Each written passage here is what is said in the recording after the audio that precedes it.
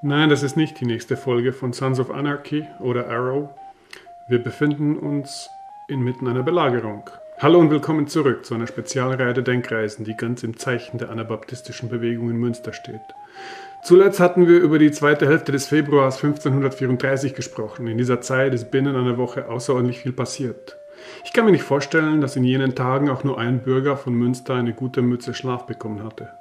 Draußen schlugen die bischöflichen Landsknechte ihr Lager auf. In der Stadt fanden die ersten Übergriffe an jenen statt, die nicht mit den Wiedertäufern gemeinsame Sache machen wollten. Der Februar endet mit dem Beginn der Belagerung. Und Belagerungen waren damals eine militärische Profession, die man sehr unaufgeregt und sehr methodisch beging. Dies waren mehr Geduldsproben und niemand rechnete mit einer schnellen Klärung der Sachlage. Das darf man sich also nicht wie in Abenteuerspielfilmen vorstellen, wo die Belagerer nachts vor der Burg eintreffen und am nächsten Morgen gleich mit Katapulten und brennenden Projektilen anfangen. Dies war schließlich auch eine komplexe Sachlage. Niemandem würde ein komplett niedergebranntes Münster voller Leichen nützen. Am allerwenigsten Bischof Waldeck. So spekulierte man auf Verhandlungen, Kompromisse, auf die psychologische Wirkung einer Belagerung auf die Bürger innerhalb der Stadt. Aber Belagerungen waren auch teuer. Ließ man sich zu viel Zeit, ohne ein greifbares Resultat herbeizuführen, rannte man mit seiner Kriegskasse in rote Zahlen hinein. Und Bischof Waldeck hasste rote Zahlen. Zu diesem Zeitpunkt hatte ihn die Stadt Münster und ihre Untriebe bereits ein kleines Vermögen gekostet. Die ersten Landsknechte, die in Sichtweite der Stadt Lager aufgeschlagen hatten, mochten kaum mehr als 2000 Mann sein. Doch bis zum Sommer sollte diese Zahl auf gesicherte 7.000 bis 8.000 Söldner ansteigen. Diese Truppe kostet den Bischof jeden Monat über 30.000 Entner Gulden. Die Landsknechte bilden insgesamt sieben Lager, die sich um die Stadt verteilen. Doch die Kriegsteilnehmer sind vielfältig. So gibt es mindestens vier Lager der aristokratischen Reiterei und der münsterländischen Gutsbesitzer. Wir hatten bereits in der vorletzten Episode von Dietrich von Merfeld und Drost von Wolbeck gesprochen. Franz von Waldeck bezieht selbst Quartier in Telgte, etwa zwölf Kilometer östlich von Münster. Er benennt einen lokalen Adeligen zum Kommandanten über das bischöfliche Belagerungsheer, Wilken Steding. An seiner Seite befinden sich vier Kriegsräte, welche mit den einzelnen Heeresteilen und ihren Anführern kommunizieren. In den kommenden Wochen treffen auch die ersten Mörser und andere Projektilwaffen ein. Es sind alles schwer transportierbare Leihgaben benachbarter Fürstenhäuser. Dies ist ein Zeitalter, in dem Kanonen noch etwas sehr Modernes sind und außerordentlich kostspielig in Herstellung.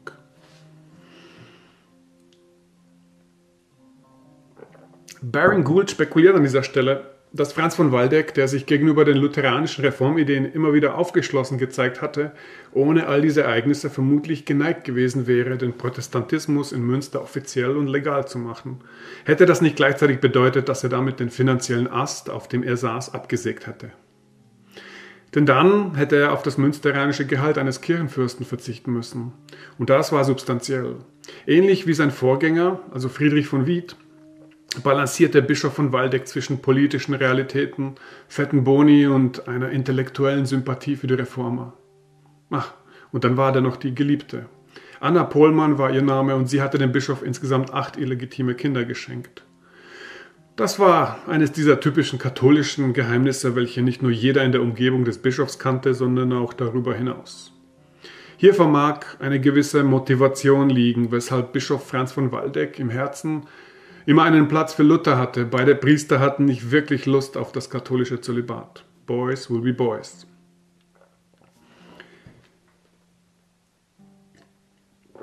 Als historische Figur schneidet der Bischof durchaus schlecht ab. Für Baring Gould war Franz von Waldeck ein Heuchlein, dessen Brust möglicherweise ein protestantisches Herz geklopft hatte, doch dessen Gier und materialistischer Lifestyle letztendlich überwogen.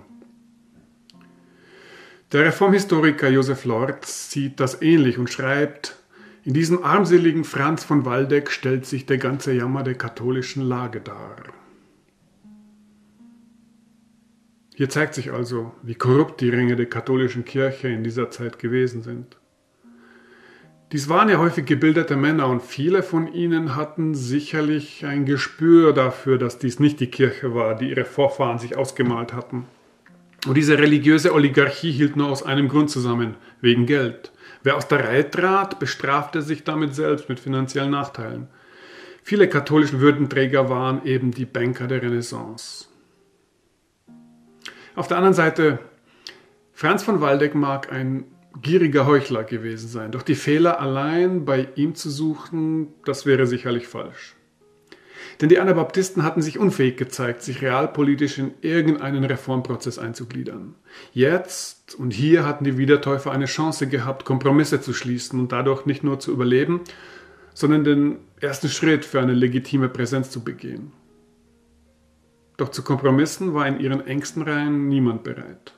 Die Anführer der Bewegung, der Prediger Bernd Rottmann, der Agitator Knipperdolling, der cholerische Jan van Matthijs, sie alle waren berauscht von ihrem eigenen Ego und diesem Platz auf der Obstkiste, den sie nun endlich einnehmen konnten. Sie sahen sich bereits als Sieger, als bewunderte und verehrte Religionsstifter und Propheten. Und die Idee, die Besitztümer jener zu beschlagnahmen, die eben nicht bereit waren, sich durch die Erwachsenentaufe konvertieren zu lassen, war bereits zu einem fundamentalen Motiv für die Anhänger geworden. Der Enthusiasmus, der unter der taufwilligen Stadtbevölkerung ausgelöst wurde, begründete sich ja in allerlei Versprechungen, die irgendwie eingehalten werden mussten. Ich meine, ein Knipperdolling konnte nicht vor seine Leute treten und sagen, äh, also das mit der ganzen Güterumverteilung, also da haben wir vielleicht etwas übers Ziel hinausgeschossen, aber hey, wir haben eine Steuersenkung von 0,6% rausgeholt. Es gibt also auch gute Neuigkeiten. Heute kann man das ja mit den Leuten machen. Damals waren die Fronten deutlich verhärteter. Die Erwartungen spielten sich in himmlischen Regionen ab. Dies war die Renaissance, das Zeitalter der geistigen Revolten. Und die Wiedertäufer hatten keine Lust, noch ganze Generationen auf Veränderung zu warten. Sie wollten nun auf die Überholspur. Und viele ihrer Maßnahmen wurden damals so schockierend empfunden, dass sie durch die Jahrhunderte noch immer auf die Nachwelt einwirken. Zum Beispiel die Sache mit dem Geld. Durch all die Vertreibung gelangten die Wiedertäufer an ein beachtliches Vermögen. Sie haben zwar viel kaputt gemacht, vor allem wenn es sich hierbei um rein katholische Kunstwerke gehandelt hatte, doch sie konnten große Mengen teurer Kleidung und vor allem Geld und Münzen einsacken. Nun gab es aber auch viele, die in der Stadt geblieben waren, da sie ihr Vermögen beschützen wollten. Das wog ihnen halt schwerer als die religiöse Konfession oder das Risiko, als Scheinheilige enttarnt zu werden. Mit anderen Worten, sie waren bereit, sich taufen zu lassen, aber spekulierten wohl darauf, dass sie trotzdem auf dem Familienvermögen sitzen bleiben. Sie würden sich schon bald wundern, denn die Wiedertäufer hatten sogleich begonnen, hierzu Regeln aufzustellen. Das Ziel war es, Güter und Lebensnotwendigkeiten allen zur Verfügung zu stellen. Reich und arm sollte systematisch aus der Gesellschaft herausgefiltert werden. Die Waren wurden zwar streng bewacht und gemeinschaftlich gelagert, doch wer etwas brauchte, bekam es auch. Das führte natürlich zu interessanten Situationen. Inmitten dieser belagerten Stadt flanierten fremde Paare aus den Niederlanden, also Menschen, die noch Wochen zuvor in zwielichtigen und vermutlich armen Verhältnissen gelebt haben, nun in den teuersten Gewändern durch die Straßen. Das Verstecken von Vermögen durch betuchte Münsteraner war schon bald streng strafbar. Wer etwas besaß, sollte es abliefern. Wer etwas brauchte, sollte danach fragen. Handwerkern wurde es verboten, für ihre Arbeit Geld zu verlangen. Alles Arbeiten sollte in den Dienst des neuen Jerusalem gesteckt werden. Und im Gegenzug sollte niemand darben, niemand hungern. Der Geldverkehr wurde somit effektiv außer Kraft gesetzt. Diese Vorgänge haben dazu beigetragen, dass im 19. und 20. Jahrhundert die Anabaptisten von Münster rückwirkend sehr oft als waschechte frühe Kommunisten verdammt wurden. Ein Prädikat, das ich gut nachvollziehen kann. Doch als jemand, der stets viel mit richtigen Kommunisten zu tun hatte, kann ich den Vergleich nicht allzu gut unterschreiben, denn alle Kommunisten, die ich gekannt habe, hatten stets eine ausgeprägte Obsession für Geld und von einer Abschaffung des Geldverkehrs war da nie etwas zu spüren. Aber das ist immer das Problem mit Etiketten. Man muss stets dazu sagen, was man sich eigentlich unter einem solchen Begriff vorstellt. Der notorisch eifrige Bernd Knipperdolling, inzwischen zu einem der Bürgermeister der Stadt aufgestiegen, prägte den Spruch Ein Gott, ein Pott, ein Ei, ein Kuchen. Ein Spruch, der ironischerweise im Münsterland ganze Jahrhunderte überlebt hatte und heute noch dort auftaucht. Das allerdings ist durchaus eine Feststellung, die einen starken kommunistischen Wesenszug hat. Die Idee, dass all jene, die über den Durchschnitt leben, nun von diesem hohen Ross auch herunterkommen müssen, um innerhalb der Gesellschaft einen wirtschaftlichen Gleichstand zu schaffen. Ich kann mir natürlich vorstellen, dass es ihm, dem äh, stadtbekannten Geschäftsmann, leichter als anderen gefallen war, diese Ideologie zu predigen. Denn Wie wir in einer frühen Episode besprochen hatten, wurde Knipperdolink von dem Vorgänger von Franz von Waldeck beinahe komplett in den Ruin getrieben. Und Knipperdolinks Freiheit konnte in den darauffolgenden Monaten ja, nur durch private Schulden bei diversen Banken und Geldverleihen ermöglicht werden.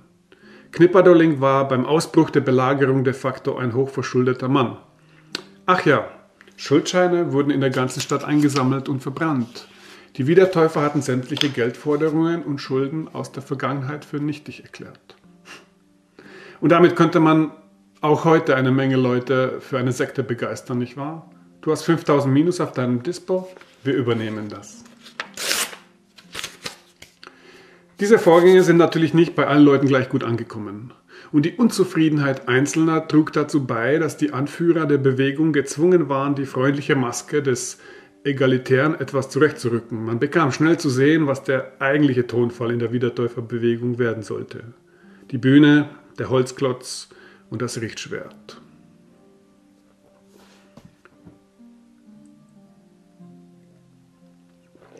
Hermann Rothart beschreibt einen Fall aus genau jenen Tagen.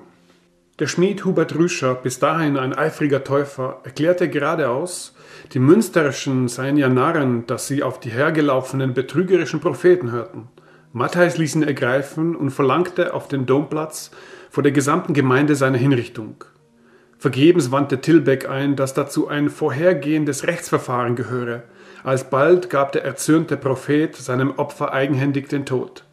Die alte Rechtsordnung war dahin, der Wille des Propheten war Gesetz geworden. Die Hinrichtung von Schmied Rüscher blieb nicht ohne Folgen. Doch vorerst verkniff man sich den Unmut. Doch der erste Riss in der Wand wurde sichtbar. Die Anabaptisten würden schon bald zu tyrannischen Mitteln greifen müssen, um alle auf der Parteilinie halten zu können. Am radikalsten erscheint natürlich die komplette Restrukturierung des kirchlichen Alltags. Und das ist etwas, das heute vielleicht niemanden vom Hocker reißt, aber vor 500 Jahren? Die Anabaptisten hatten den Gottesdienst abgeschafft. Zumindest so, wie man ihn seit Generationen kannte. Sonntage keine mehr, Feiertage keine mehr. Andachten fanden von nun an ohne die kirchliche Kuppel unter offenem Himmel statt. Zwischen Gott und dem Herzen des Wiedertäufers sollte es kein Hindernis mehr geben.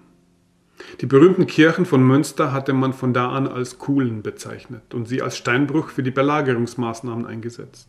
Knipperdolling und Kibbenbrock ließen sogar die kirchlichen Turmspitzen abbrechen, um auf den so gewonnenen Plattformen Geschütze aufzustellen. Im Nachhinein erscheint es erstaunlich, dass es möglich war, eine derartige sozioökonomische Umwälzung in den Köpfen der Leute durchzusetzen. Und plötzlich beginnt man zu ahnen, wie effektiv hierbei die Ankündigung des Endzeittermins durch Jan Matthäus möglicherweise gewesen ist. Doch nichts ist so gnadenlos wie das Kreuz in einem Kalender, und der Termin, auf den so viele hingearbeitet haben, die Rückkehr Jesu und das Gericht Gottes, war für Ostern am 5. April angekündigt worden. Was würde geschehen? Wie würde das alles aussehen und ablaufen? Und wie viele Leute in der belagerten Stadt haben wohl wirklich daran geglaubt? Ich will jetzt natürlich nicht antiklimaktisch wirken, aber du kannst es dir sicherlich denken, am 5. April geschah nichts, das Gottes Nähe hätte vermuten lassen. Als Jan Matthäus angekündigter Endzeittermin platzte, reagierte der Prophet in seiner üblichen manisch-depressiven Manier. So soll er inmitten eines gemeinsamen Abendessens mit den Worten aufgesprungen sein, Herr, nicht nach meinem, sondern nach deinem Wille geschehe, wo die Osterfestivität hektisch verlassen haben. Am nächsten Morgen nahm er sich ein Dutzend seiner treuesten Gefolgsleute und ritt mit ihnen vor die Tore der Stadt, um sich der Armee des Bischofs entgegenzustellen. Ein klassisches Lösungsthema, das nur waschechte Christen verstehen können. Und Eibel Ferrara vielleicht. Diese kleine Truppe wurde auf dem offenen Feld schnell umzingelt und trotz tapferer Wehr in kürzester Zeit getötet. Die Münsteraner verfolgten das Geschehen von den Mauern und Türmen der Stadt. Die Sache läuft in bester Game of Thrones Manier ab. Jan Matthäus wird nicht einfach so im Kampf getötet. Die inzwischen etwas gelangweilten Landsknechte hacken auf seinen Körper ein und zerstückeln ihn in kürzester Zeit amüsiert. Kein General, kein Anführer macht sich die Mühe, sie zu zügeln. Die Bürger von Münster sollen nur ruhig sehen, worauf sie sich eingelassen haben.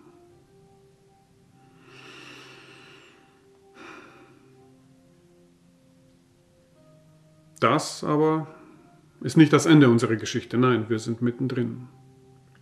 Wer geglaubt hatte, dass durch das Ableben des vermutlich psychisch geplagten Jan Matthäus die Weltherrschaftsfantasien der Anabaptisten nicht mehr gesteigert werden konnten, der irrt gewaltig. Sein erster Gefolgsmann, Jan Bockelson van Leyden, übernahm sogleich die Zügel. Jan van Leyden hatte sich in den ersten Tagen der Belagerung erstaunlich zurückgehalten. Viele der radikalen und verwirrenden Maßnahmen wurden von Jan Matthijs und Bernd Knipperdolling umgesetzt. Und Bernd Rottmann stützte ihnen mit seinen Predigten den Rücken. Doch nun weiß Jan van Leyden seine Chancen zu nutzen und lässt jeden sofort verstehen, dass all die Monate die Nummer zwei nach Jan Matthijs gewesen sei. Und mehr, da gab es Visionen, göttliche Eingebungen. Man fragt sich ja, wie denn Jan van Leyden das nochmal hingebogen hatte, gemessen daran, welch ein melchioritisches Ei ihm der Jan Matthijs gelegt hatte. Denn Bewegungen zerbrachen auch mal an geplatzten Weltuntergangsterminen. Den Leuten etwas zu versprechen, von dem man weiß, dass es nicht eintreffen wird, ist Brot und Butter der Religionsfanatiker und der meisten Trickbetrüger. Aber wenn dann der Beweis ausbleibt, können solche Anhänger sich auch ganz schnell gegen den Religionsstifter oder das Objekt ihrer Hingabe wenden. Jan van Leyden macht daraus das Beste. Er verurteilt Matthäus nicht, doch er erklärt in einer großen Ansprache, vielleicht der wichtigsten in seinem Leben, dass es Gott selbst war, der dem toten Anführer der Bewegung den Sieg entzogen hatte. Denn Matthäus sei in den letzten Tagen seines Lebens zu eitel geworden und hatte zu sehr in seine eigenen Kräfte vertraut. So als ob er auch ohne Gottes Wirken imstande gewesen wäre, den Sieg herbeizuführen. Dies sei bereits acht Tage zuvor Jan van Leyden in einer Vision offenbart worden. Gott wünsche den Sieg, ja, durchaus, doch nun müsse man dieses Werk ordentlich vollbringen. Jan van Leyden erweist sich als ein extrem talentierter Redner und Demagoge. Er fordert die Gründung eines neuen Komitees mit dem biblisch anmutenden Namen der Rat der Zwölf Ältesten der die Menschen nun durch die Krise führen soll. Mit dieser Rede gibt er den Leuten nicht nur die Hoffnung und Gottes Segen zurück, sondern entmachtet auf einen Schlag sämtliche Restspuren einer säkularen Organisation innerhalb der Stadtgrenzen. Der Stadtrat, die Gilden, sie alle hatten dem neuen göttlichen Gesetz zu weichen. Hermann Rothert schreibt, Nachdem Jan van Leydens Bußruf wieder einmal die Straßen durchgellt und ihn dann ein Gesicht drei Tage lang der Sprache beraubt hatte, verkündete er dem aufhorchenden Volke, dass an die Stelle des von Menschen gesetzten Rates ein durch göttliche Eingebung ernannter zu treten habe. Niemand wagte zu widersprechen, und Johann übertrug einem geschickt ausgewählten Rat der zwölf Ältesten alle Gewalt in geistlichen wie in weltlichen Dingen und gab ihnen ein blankes Schwert in die Hand als Zeichen des Rechtes über Leben und Tod. Die zwölf, unter ihnen der frühere Bürgermeister Hermann Tilbeck und fünf Ratsherren, verteilten die wichtigsten Arbeiten der Stadt an 42 ausgewählte, meist einheimische Männer. Daneben wurde der bisherige Bürgermeister Knipperdolling zum Schwertführer, das heißt zum Scharfrichter ernannt. Alter Schalter, die Dinge, die man mit menschlichem Glauben anstellen kann. Unglaublich. Jan van Leyden war offensichtlich ein extrem smarter Typ, der es gelernt hatte, in widrigen Umständen des Amsterdamer Hafenviertels über die Runden zu kommen und dabei eher auf seine grauen Zellen gesetzt hatte als auf Muskeln und Fäuste. Das machte ihn zu einem ganz anderen Schlag Mensch, als Jan Matthijs es gewesen war. Würde man diese Geschichte verfilmen, wäre für Jan Matthijs vermutlich Ray Winstone oder Brandon Gleason die richtige Wahl, ein psychisch instabiler, besserwisserischer Choleriker. In dieser Hinsicht mutet mich der eher stille Jan van Leyden viel gefährlicher an. Die Frage bleibt allerdings, welcher Schauspieler in diesem hypothetischen Spielfilm Jan van Leyden porträtieren sollte. Vielleicht hast du eine Idee. Außerhalb von Münster demonstrierte man nun eine mehr oder minder engagierte Loyalität gegenüber Bischof Franz von Waldeck. Der Herzog von Kleve, der Kurfürst von Köln, der bereits erwähnte Philipp Landgraf von Hessen, sie alle hatten Truppenteile, Geld für die Soldkasse, aber vor allem Geschütze zur Verfügung gestellt und Richtung Münster geschickt. Sogar die niederländischen Herrschaften, denen die Wiedertäufer schon seit Melchiors Zeiten ein Dorn im Auge waren, entsandten aus Brüssel Hilfsgüter für die Belagerer. Das wiedertäuferische Münster stand plötzlich allein gegen die ganze Welt. Dies war vielleicht der Grund, weshalb jeder angenommen hatte, dass im Verlauf des Frühlings 1534 die Belagerung ein zügiges Ende nehmen würde. Ein weiterer großer Irrtum in dieser Geschichte. Helmut Lakamp hält jedoch auch einen ganz anderen politischen Blickwinkel fest. So schreibt er in seinem Buch über die Wiedertäufer, die Gefährlichkeit der münsterischen Täufer wird im Reich nur zögernd erkannt. Die Fürsten hegen eher die Vermutung, dass hier der Landesherr eine ihm unbequeme Stadt zum Gehorsam zurückbringen möchte. Keinem ist aber daran gelegen, die kaiserliche Macht zu vergrößern, hat doch Karl V. erst 1528 das große Hochstift Utrecht kurzerhand seinen niederländischen Besitzungen einverleibt. Schließlich greifen die Nachbarn tief in die Taschen, um das gefährdete Bistum Münster nicht aus dem niederrheinisch-westfälischen Reichskreis ausscheiden zu lassen. Franz von Waldeck beweist Charakterstärke und lehnt lockende finanzielle Anerbietungen des Brüsseler Hofes gegen Abtretung des Bistums Münster entschieden ab. Hier sind also bei Helmut Lakamp auch einige positive Worte auf das Konto von Bischof Waldeck zu finden, der ansonsten in historischen Büchern eher schlecht davon kommt. Und wir erfahren ein wichtiges Detail. All die Grafen und Fürsten helfen also aus, geben sich aber auch ein gewisses Low Profile dabei. Ungeachtet der Konfession des Bischofsfürsten ist das Ganze ja mehr eine evangelikale Operation. Vor allem die Landsknechte dürften zu diesem Zeitpunkt überwiegend lutheranisch gewesen sein. Es gibt also ein verstärktes Interesse, dieses Ereignis nicht außer Rand und Band geraten zu lassen. Sollte der katholische Kaiser in diese Ereignisse eingreifen, kann die Sache eben allerlei Nachspiel haben. Das gerade behagt in Westfalen nicht. Nun darf man die Rolle der Wiedertäuferbewegung im Blickfeld des Kaisers nicht überbewerten. Der Habsburger Karl V. betrachtete sich selbst als einen Friedensherrscher, was recht ironisch ist, gemessen daran, dass er unentwegt in Kriege verwickelt war. Die Probleme in Münster erreichten sein Gehör vermutlich nur außerordentlich peripheral. Und das war auch etwas, das die norddeutschen Aristokraten so beibehalten wollten. Man wollte nicht, dass die Sache in einem Maße eskaliert, dass sich der Kaiser aus Barcelona zu Wort melden muss und vielleicht sogar Truppen schickt, um die Situation zu befrieden. Bloß nicht. Die ersten Wochen der Belagerung gelten der Vorbereitung. Doch schon bald spielten sich täglich kleine und eher harmlose Scharmützel ab. Die Landsknechte waren schließlich als Haudegen verschrien. Sie waren private, angeheuerte Söldner und als solche hatten sie vermutlich Mühe, Woche für Woche auf dem Hintern zu sitzen und auf den großen Tag des Sturmangriffs zu warten. Am 22. Mai begann man nun endlich mit der Beschießung der Stadt. Hierbei hoffte man vor allem, die Wälle und Mauern zu schwächen, mit sehr mäßigem Erfolg. Münster war sehr gut befestigt. Vermutlich von Leuten, die Jahrzehnte zuvor eher damit gerechnet hatten, dass die Situation umgekehrt sein würde. Die Katholiken drin und die Frevler draußen. Doch so ist es eben nicht gekommen. Dennoch kann man nicht behaupten, die Wiedertäufer hätten sich wie militärische Dilettanten benommen, die lediglich das Glück gehabt haben, dass ihnen eine gut befestigte Stadt in den Schoß gefallen war.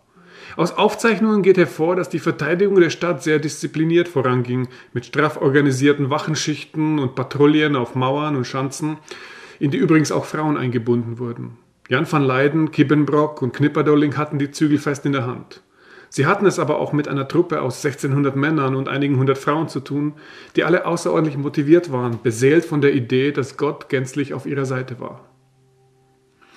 Aber es ist doch interessant, es hervorzuheben, denn dies wurde in älteren Texten über die Wiedertäufer immer etwas anders dargestellt, als ob die Anabaptisten innerhalb der Stadt kaum zu etwas Besserem fähig waren, als in teurer gestohlener Kleidung zu flanieren und Orgien zu veranstalten. Doch die Resultate sprachen eine etwas andere Sprache.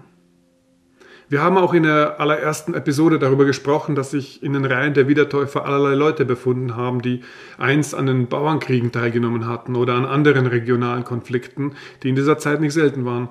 Da waren also durchaus auch einige Menschen darunter, die man guten Gewissens als militärerfahren oder wehrhaft bezeichnen kann. Leute, die wussten, wie man ein Schwert führt, eine Lanze einsetzt oder eine Kanone lädt.